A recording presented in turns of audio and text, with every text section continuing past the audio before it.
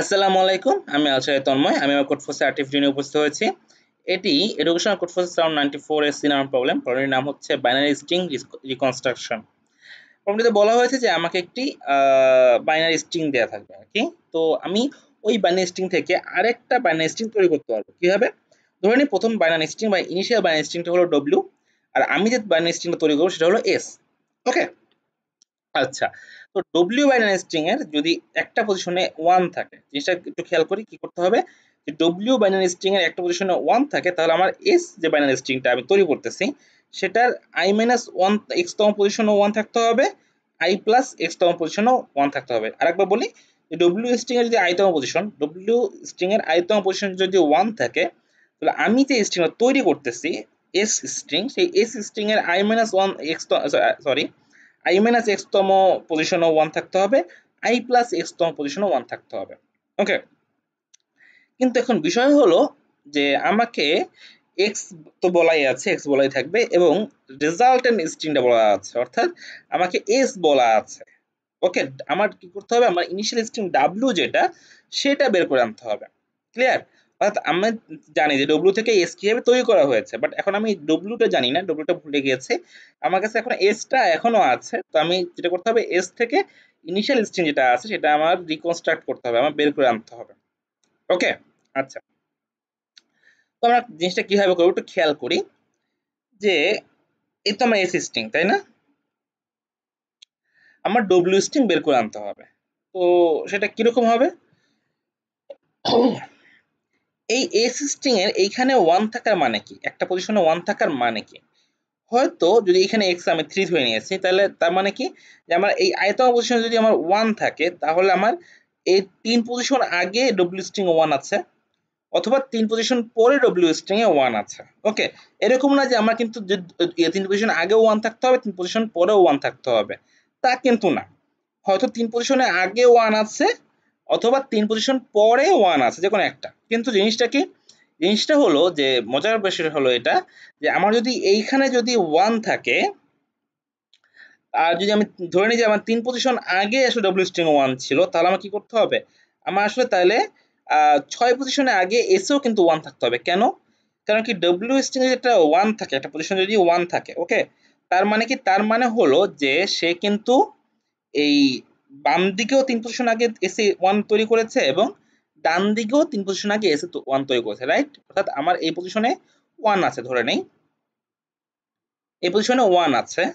সুতরাং এই W string এর যে ওয়ানটা ছিল, সে কি করছে? যে এস এ বাম দিকেও একটা ওয়ান তৈরি করেছে এস এর ডান দিকেও একটা ওয়ান তৈরি করেছে। তাই না? এক্সপোজিশন পিছনে একটা ওয়ান তৈরি করেছে এক্সপোজিশন সামনে একটা ওয়ান তৈরি করেছে এস স্ট্রিং এ।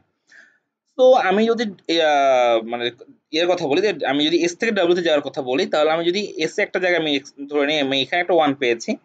ওয়ান পাওয়ার পর আমি কি করব? যে আমি আসলে ঠিক আছে, তো এখানে যখন ওয়ান পেয়েছি, তাহলে আমি ডাব্লিউর ধরে নিলাম যে ডাব্লিউর এক্সপোজিশন আগে ওয়ানটা ছিল। ডাব্লিউতে কি? এক্সপোজিশন আগে ওয়ানটা ছিল।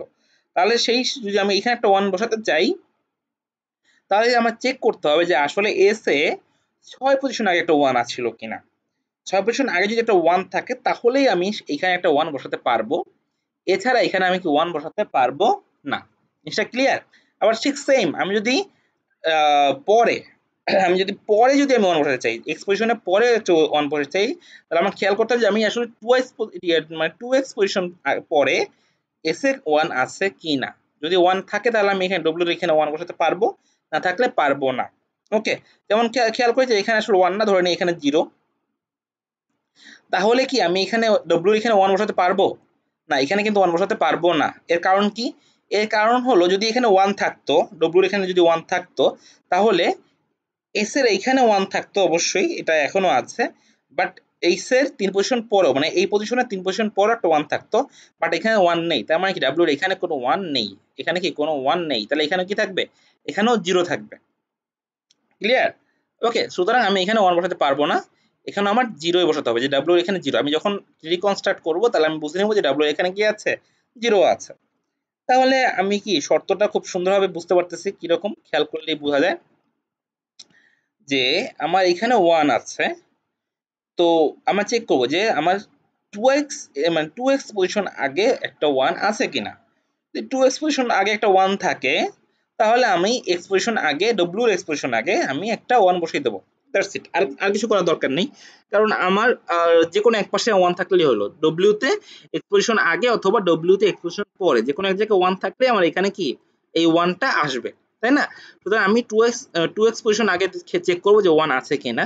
টু এক্স পজিশন আগে যদি ওয়ান থেকে থাকে, তাহলে আমি ডব্লিউতে এক্সপোজিশন আগে একটা ওয়ান বসিয়ে দেবো। ওকে তো ধরে নিলাম যে আসলে টু এক্স পজিশন আগে ওয়ান ছিল না।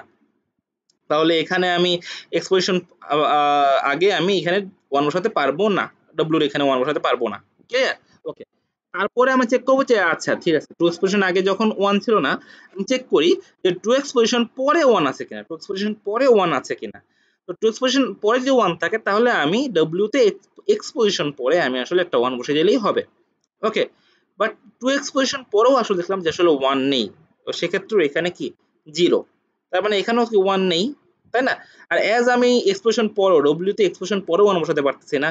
ডব্লিউতে এক্সপ্রেশন আগেও ওয়ান বসাতে পারতেছি না, তার মানে কি এই ওয়ানটা আসার কোনো ওয়ে নেই।